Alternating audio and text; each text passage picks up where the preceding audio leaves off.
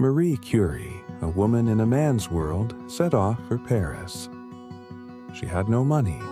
She studied even on cold, hungry nights. For her, the most valuable thing was science. She met Pierre Curie, and they started working together. Marie changed the boundaries of science by discovering radioactivity, and she became the first woman in history to win the Nobel Prize. Despite great pain, she never gave up science. And Marie became the first person to win a second Nobel Prize.